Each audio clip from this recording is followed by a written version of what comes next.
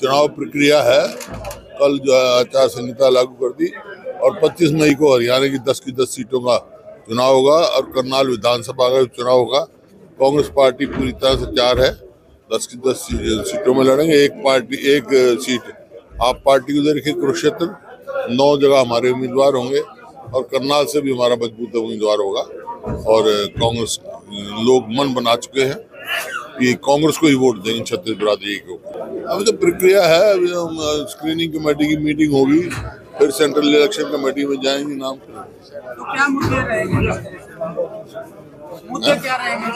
मुद्दे। ही मुद्दे हैं। बेरोजगारी है कानून व्यवस्था है महँगाई है और ये अराजकता है।